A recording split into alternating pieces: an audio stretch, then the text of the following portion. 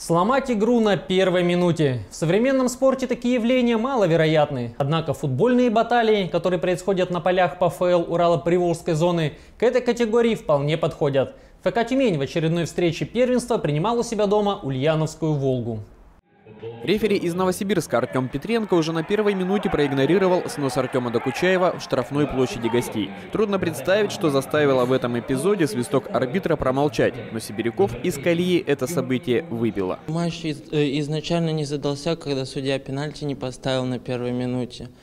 Потом пошла какая-то нервозность, много браков в передачах было и не было завершающего паса и удара. То есть, ну, особо голевых моментов мы за всю игру так и не создали. Да и «Волга» каскадом ударов, поворотом своих прибывших навстречу фанатов не радовала. Но все же сумела сыграть по принципу «редко да метко». На 13-й минуте ульяновцы беспрепятственно прошли по левому флангу и доставили мяч в штрафную Алексею Тринитатскому, который принял единственное верное решение, хлестко пробив верхний угол 1-0. Наверное, три очка на данный момент – более важно, нежели какая-то красивая игра для нас.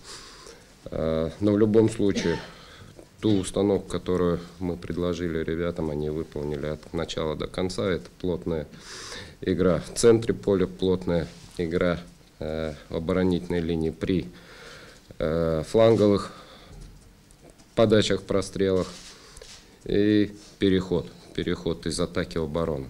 Тюменцы снова не досчитались серьезной группы атаки. Артур Газданов появился на поле лишь во втором тайме, а Александр Субботин не попал даже в запас. В их отсутствии инициативу в свои ноги пытался брать Давид Захов, но его проездной билет автобус «Волги» раз за разом принимать отказывался. Очень много говорили о контроле мяча, о том, чтобы этот мяч, конечно, это именно владеть инициативой, но, к сожалению, вот этот первый мяч, он вообще, когда мы его пропустили, я посмотрел, что уже мы свалились только на индивидуальные такие действия наших игроков, когда там все таскали этот мяч, хотели его протащить, продавить. Вот, а начинали вроде бы так на моменты очень неплохо, как бывало у нас получалось, там через пас что-то так проглядывалось. А вот именно после гола чуть-чуть немножко все сломалось. Вторая половина встречи превратилась в шапито. Судья Артем Петренко настолько упустил нити игры, что даже отменял офсайды, которые фиксировали его помощники. Обе команды были готовы накинуться на рефери с кулаками.